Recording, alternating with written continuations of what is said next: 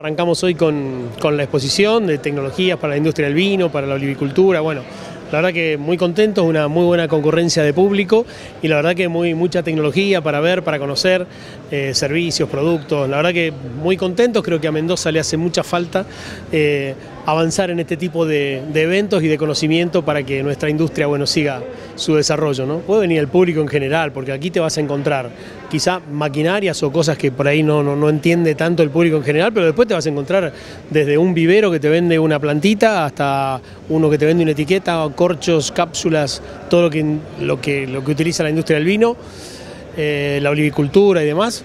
Así que no, puede venir todo el mundo, aparte es un lindo paseo acá en la nave cultural. Podemos mostrar un poco lo que hacemos, eh, haciendo foco en la innovación constante de la empresa, con nuevos productos, nueva tecnología. Recientemente hemos eh, publicado sobre nuestro desarrollo en Malbec, eh, el genoma del Malbec.